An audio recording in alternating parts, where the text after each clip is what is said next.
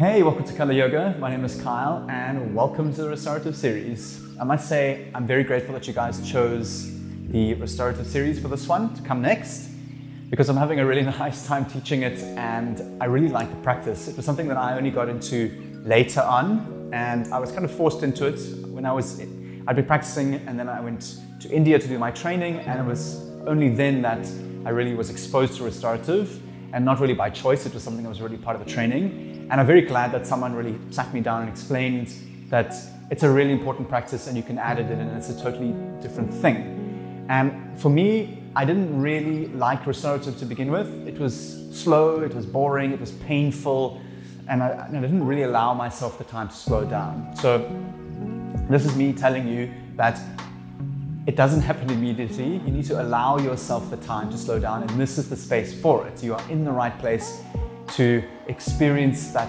gentle journey into stillness. So we're trying to relax our nervous systems, we're trying to synchronize our breath with our movements and really be with the journey from kind of a busy day into a more calm space. And that process from going to A to B is where the lessons are learned, is where you learn to apply yourself and to train your sense of attention where you can create this mindfulness behind your awareness. So today's class is a 20 minute all levels practice. You don't need any props or blocks. I do however have my couch pillow here. So if you have a pillow or a bolster, it really just does help with softening in. I'll show you how to use it.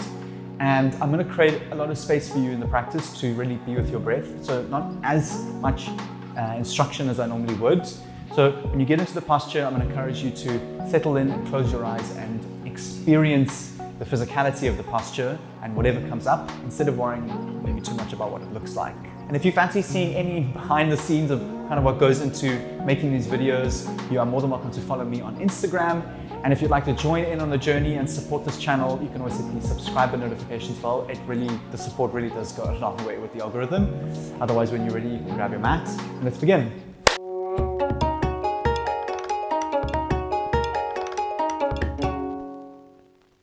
Hey, welcome back. Well done for getting to your mat. When you're ready, you can make your way into a seat. And if you are near a wall, um, I might suggest that you move your mat there. I'm going to do a legs up the wall pose at the end. Um, but if you're not near a wall, then it's fine. We'll put you into happy baby. That's totally fine. Bring your hands into your knees. Take a deep breath in. With a long exhale, let your eyes come to close. When you're ready, arrive into stillness and embody your attention. So just feel into your body, whatever that means to you. And we're going to practice patience with our winding down today. So, really softening into our breath and into our bodies and softening into your mind's eye, which is another cool concept that really helps me in terms of noticing if you are carrying tension in your sense of awareness or in, in your mind, and just trying to keep it nice and soft as you kind of step back and gently witness whatever comes up for you. Inhale to fill. Exhale to release. See if you can create a bit of sound as you sigh out. Inhale, nice and slow. Feel your belly expand. Sit up tall. Exhale to release and shake it off. Inhale, arms rise up to the sky, touch above your head to point. Exhale, lower them through to your heart center. If you'd like to, you can take a moment just to set an intention for your class. This can be anything you like, it could be for you or for someone else. And when you're ready, you can bow your head towards your hands to seal that off. And today we will begin on our backs in Supta Baddha Konasana, having the soles of your feet to touch. Slowly lower yourselves down. Rest your right hand onto your belly and your left hand onto your chest. Inhale. Exhale, close your eyes and allow gravity to do all the work. So, really just surrendering to your mat and seeing if you can breathe into your right hand. So deep belly breaths or yogic breaths where you're kind of encouraging deep belly breaths, bypassing the chest. Long, smooth, and soft.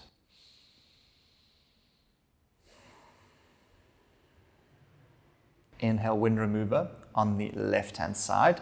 So keeping your right leg out, draw your left knee into the chest, give it a good squeeze. Still keeping your left toes tucked, your eyes closed, and your chin tucked.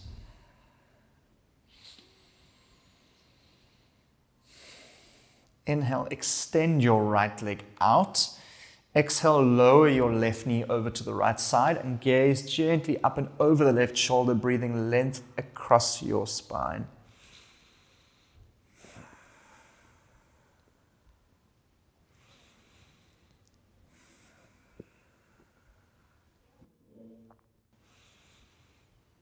Last long breath in. Last breath out. Inhale, draw your left knee into your chest, give it a good squeeze. Now bend your right knee, bringing your heel back to Supta, so having it on the outer blade of the right foot. And then exhale, place your left foot down, Supta, soles of the feet to touch. Keeping your left knee as it is. Draw your right knee to the chest, flex your right toes, hold and breathe.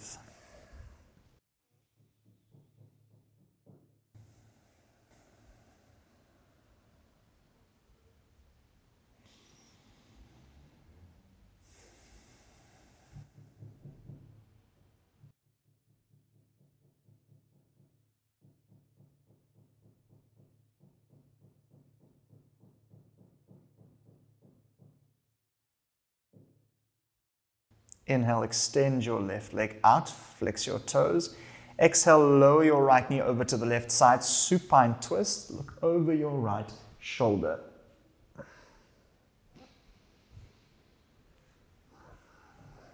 See if you can soften the breath. Allow that to wash over your eyes and your jaw.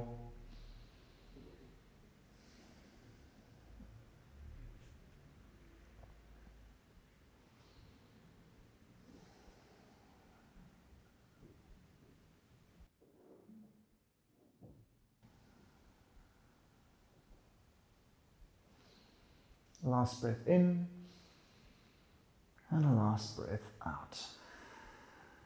Inhale, draw your right knee into your chest, flex your toes. As you exhale, bend your left knee, and with your inhale, place your right foot back down, supta, soles of the feet to touch. Draw your hands onto the outside of your legs, bring your knees in together, and you can window wiper your legs from left to right, just waking up the hips.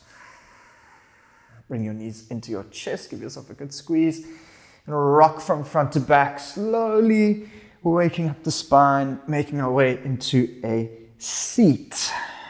Nice. Extend your right leg out, bring your left leg in for Janu Sirsasana.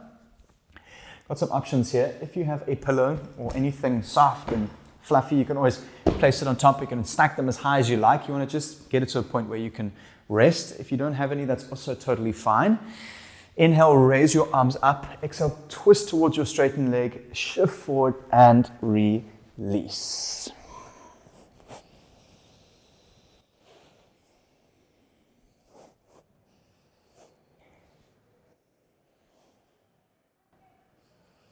See if you can keep your eyes closed.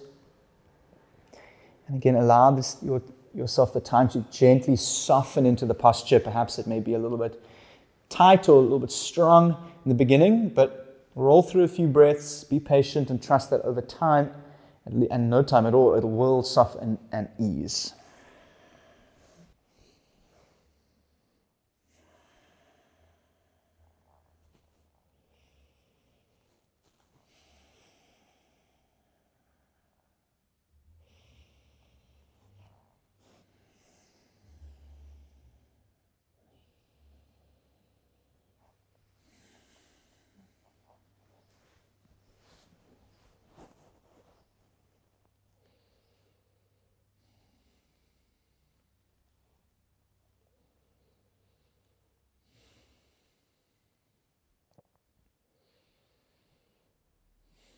Last breath in. Gentle exhale to relax. Inhale, roll up. If you have a pillow, you can place it behind you. We're to keep our, oh, sorry, we're to bend our right leg towards the back of the mat. roll your calf out the way before you clamp it in. Extend your left leg out, flex your toes. We're going to gently lower ourselves onto our back, feeling a stretch in the right quad. Find a comfortable space. This is quite tense, so if you have to stay up onto your elbows, that's fine. If this is enough, that's cool. Find a space that's breathable and close your eyes. This is often a really neglected posture, but really nice to work into. We won't be here for very long, just a few breaths. And now's the time you really can apply yourself in terms of just focusing on the area and breathing softness, trying to relax into your right quad.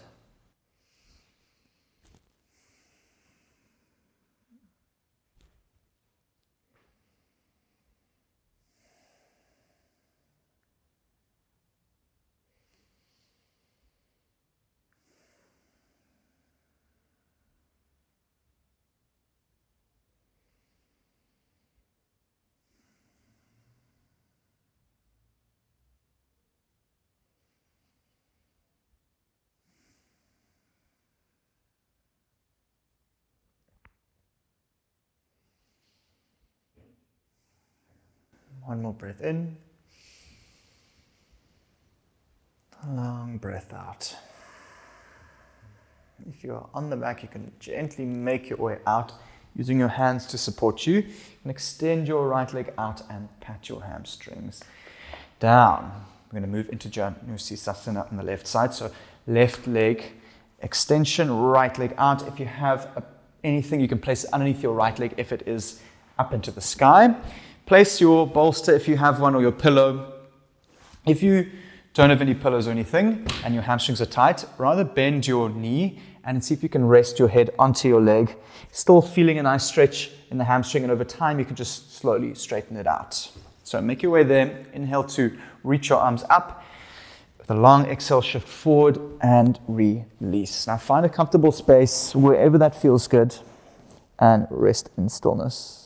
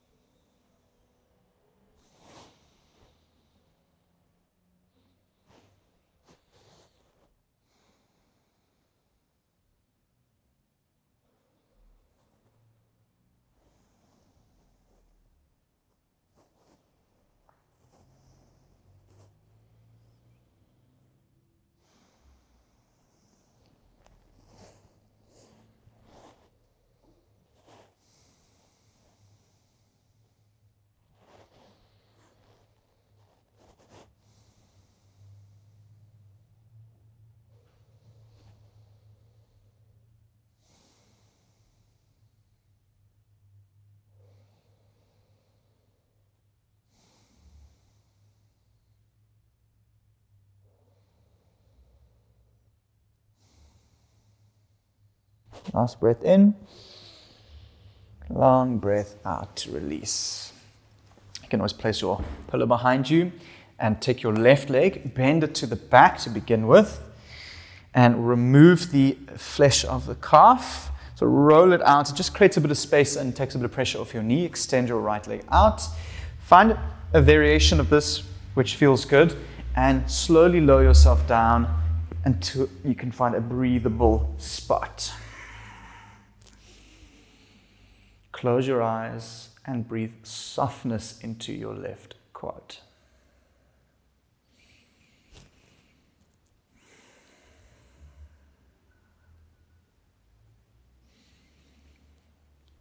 Another nice trick is if you place your right hand onto your belly, left hand onto your chest, and use your focus of the attention to breathe into your right hand. Kind of just following the hand as it rises Noticing the stillness at the top and following it all the way down to the stillness at the bottom.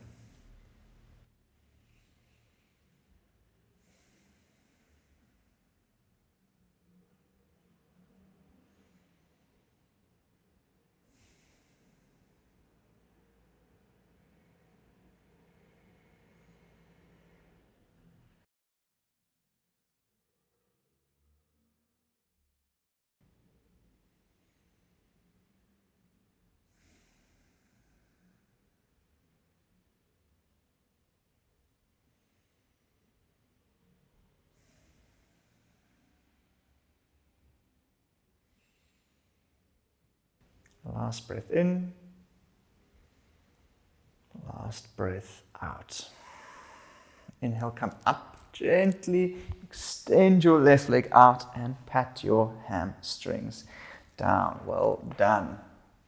Place your pillow off your mat. And inhale to roll up. As you exhale, lower down onto your back. Bend your left knee. Press your right leg onto your left with your toes flexed in figure four. Just a few breaths. You can either interlace the fingers at the front, hamstring, or just place it down. Find a comfortable spot, close your eyes, and breathe. We're going to do just for a few breaths here. So really soften into the right side, flex your toes, and tuck your chin.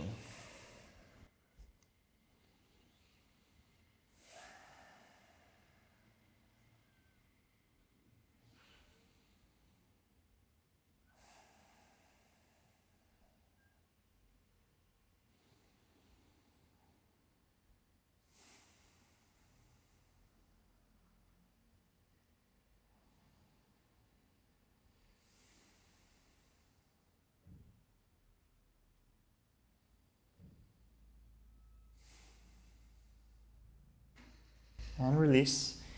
Switch your legs out. Right leg stacks on top of left.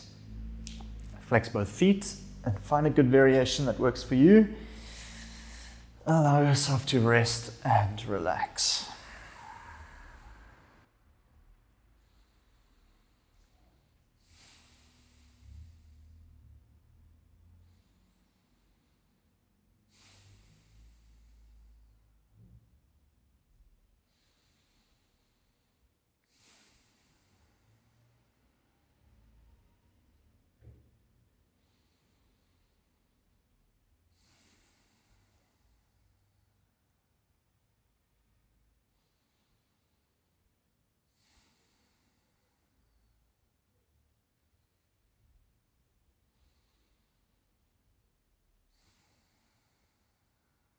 Last breath in.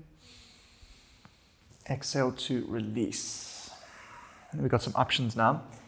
You can either move into happy baby, where you have either your knees or send your heels up, taking the outer blades of the feet and drawing out wide. Or if you are near to a wall, you're going to get into a legs up the wall pose.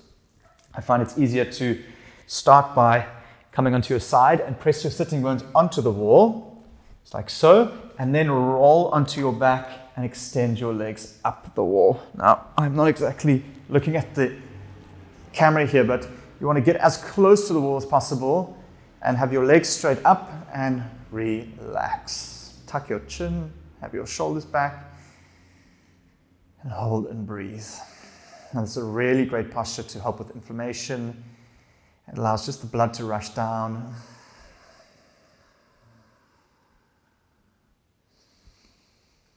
Let's see if you can really soften in here, just allowing gravity to do all the work.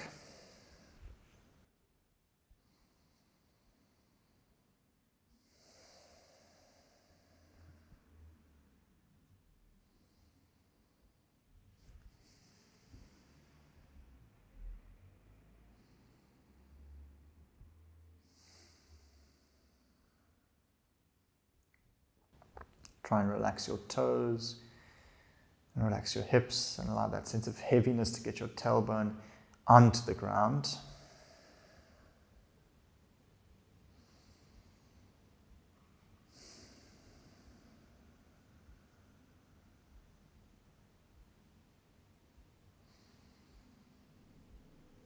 Just allowing the exhales to breathe a sense of softness into your fingertips, into your palms and wrists and forearms.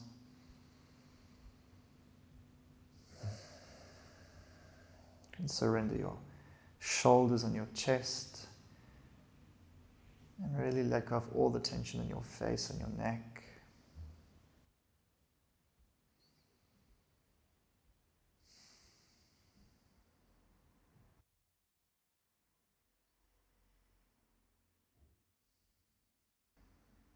Now you are welcome to stay here if you like. We're going to be moving into Shavasana where we're going to lay onto our backs. It's always nice perhaps to get a little bit longer into this posture. For demonstration purposes, I'm going to move out. So you can roll out onto your side and you can just kind of shuffle your way as graciously as you like into your Shavasana, having your toes out, palms up. Close your eyes, commit to stillness, take a slow breath into your belly. Exhale to release and relax. Well done. See if you can be in stillness and be with your breath just to wind your practice down. This sort of end integration phase is really, really important. It allows you just to be with your attention and just notice how your mind works. And see if you can just gently and softly encourage the returning of your attention onto your sensations, onto your body or your breath. And this is normally uh, perhaps quite a rapid process of kind of losing your attention and then bringing it back and losing it. That's a part of the training. It's a part of how it's how it works, and you'll find that over time, the space between those thoughts become longer, and you will feel your mind quieten.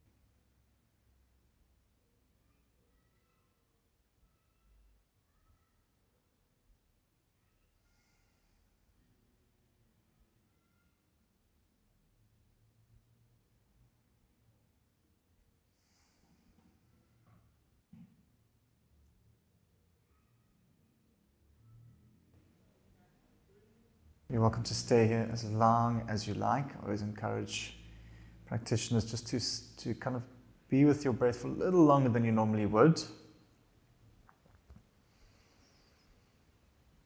And thank you so much for putting such amazing effort into your self practice and to this channel. It is so greatly appreciated. And if you have any comments or questions, I will be in the comments section. It's always really nice to hear from you and to get to know you. Otherwise, I'll see you next time on your mat. Namaste.